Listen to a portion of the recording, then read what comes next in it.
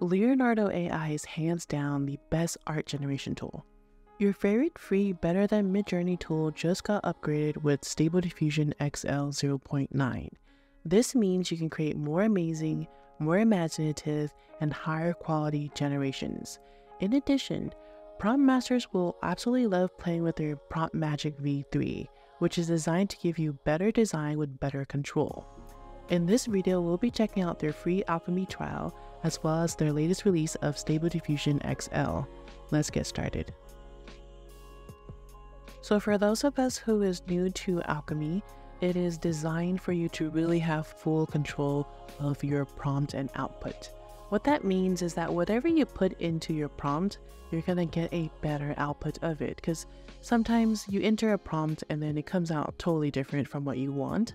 Um, Prompt Magic V3 is designed to really understand your language, designed to really take your prompt to the next level and create higher quality, better images and really understand what you want.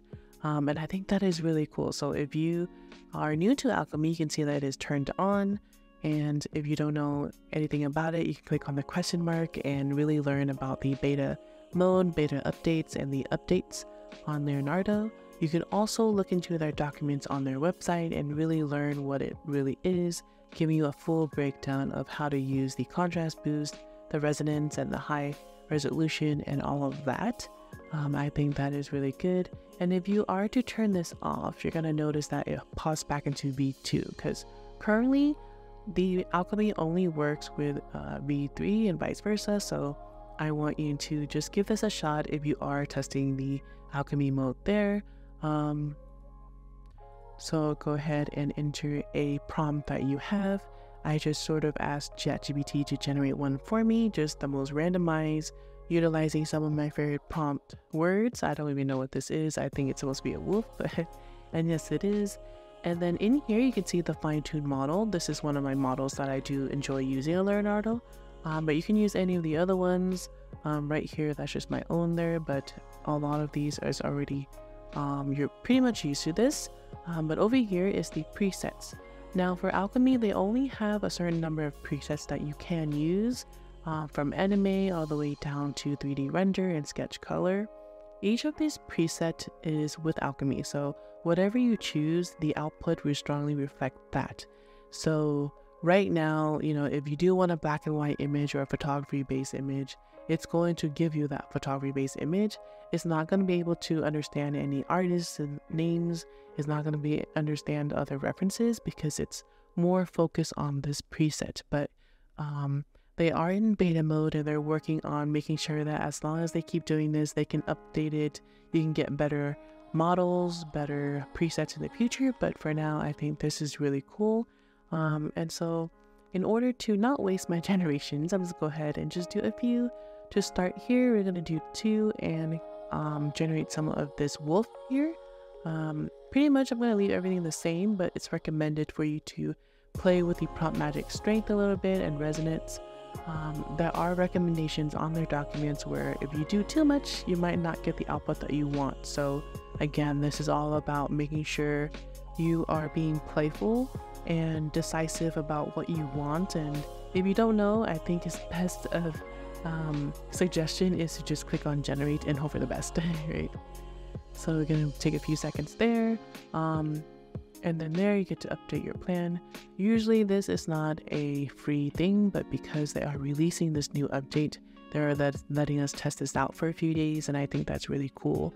Usually a lot of websites, you know, anything new, you gotta pay for it first. This one is like anything new, we got a really nice um, free um, test or teaser. So I think that's really cool there. And okay, so we got somebody um, with the wolf there, but I think that is very high quality and dynamic. I, I guess so. I'm not sure what we're creating, but these are very interesting. Um, you can see what this is. It is dynamic. So if I were to change this to something else, so let's say I change it to an um, photography, we might get a different output. You can also change the model, but um, to keep this the same, we're just going to keep doing that. So go ahead and click on generate there. And you can see how many tokens this cost me right there, 16.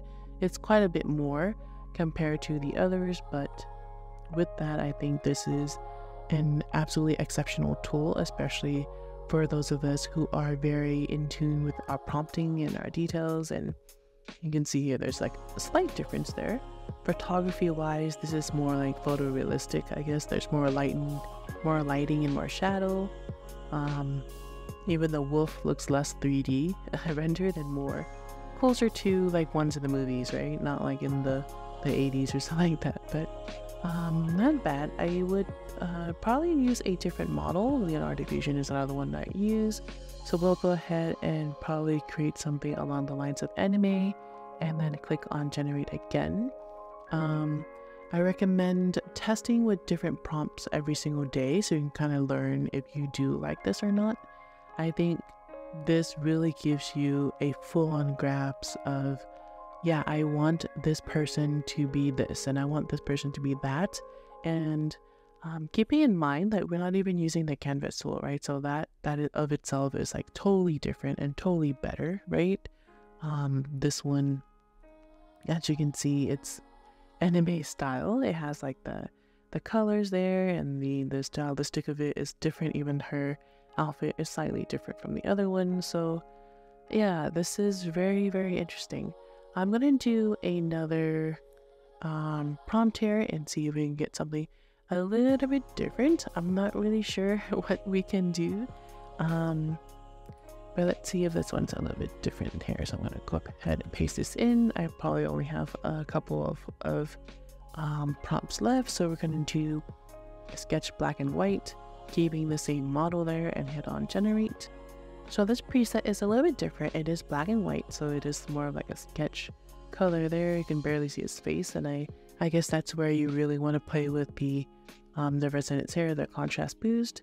And over here, you got a different character of the same style per se. So it's actually really cool and interesting that they can do that. So if you were to change things up in terms of your prompting, your style, you're going to get exactly what you want. Uh, we're going to do one more because we have enough tokens to do that. And this time, we're going to stick it to the environment and, and see, or maybe dynamic.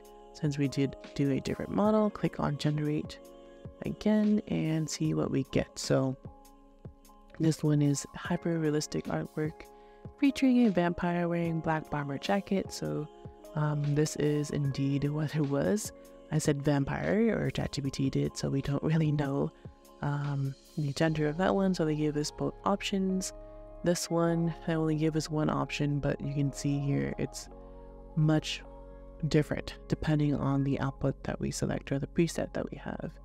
And if we were to go back to the original V2 and kind of leave everything the same there, we're going to click on generate and see if, you know, alchemy is a bust or not. So we're going to go ahead and click on that. Um, let me know your thoughts on this and if you used it and this tool is worth it to you. So it definitely wastes less tokens if you're in your prompt magic V2 and without alchemy there. Um, generations is okay. It's it's it's actually pretty good for what it is. Um, but then you can see that if you do use alchemy, it is a little bit better. Like there's more details even on the costume. There's more detail in the the, the characters and the background. And even this text looks a little bit better than normal, not just like the random um, there. And I, I think this even is something that I would love to check out even more. Next, what we're going to do is check out their SDXL 0.9. That is the latest update that a lot of other programs have been doing and releasing, and it really changes the game in terms of your output. So, in order to use that, all you need to do is click on the model area and switch to SDXL 0.9, and then that's it. It's it's already there for you to use. It uses a little bit more tokens because it's a little bit more advanced. Um, and I'm going to keep the same exact um, prompt there so we can sort of get like a before and after sort of pick and we're going to do this and then we're also going to go back to the wolf one and see if like what are the main differences in terms of this new model because um, this model is a game changer like stable diffusion xl is always so different especially if you saw my other video in playground it changed the way we um, we do our prompting, right? It makes it so much easier. So if you're someone who loves to play around with your prompt and um, add a few words here and there, add a few things and to make it much more controlled, um, then alchemy is perfect for you. And if you're somebody who's really into um, not really learning too much about prompting and you're just like, give me my pictures, I'm out of here. Um, I like it, but it's too much time. Then S- SDXL is the perfect option because it takes the workout for you. You just kind of press enter and you get some pretty interesting images. I think this is one of the first one where the wolves get a pair of glasses, but you know, that is fine. Um, I think it's actually it's actually pretty unique that it, it did that, but yeah, I would highly recommend you checking out both the um, SDXL 0.9. It is available for free users, or check out the Alchemy version. I think both is really cool whether you want to create better images or not. Free, not free, free trial.